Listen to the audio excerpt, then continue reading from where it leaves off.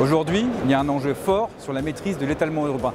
Cet enjeu se traduit en France par le ZAN, le zéro artificialisation net, qui doit être atteint en 2050 avec un point d'étape à 50% en 2030. Face à cet objectif et à cet enjeu fort, le groupe Bouygues euh, dispose de nombreuses solutions qui permettent de le gérer depuis l'amont jusqu'à la construction des projets. Plus particulièrement, Colas Environnement se concentre sur la réhabilitation des friches, la dépollution des sols et des nappes, dans l'objectif de rendre des sites industriels euh, qui sont désertés aux concitoyens via la dépollution et la mise en conformité de ces espaces. En conclusion, le groupe Bouygues, de par l'ensemble et la diversité de ses métiers, permet de répondre à l'enjeu du ZAN en utilisant tous les leviers et notamment celui de la réhabilitation de friches.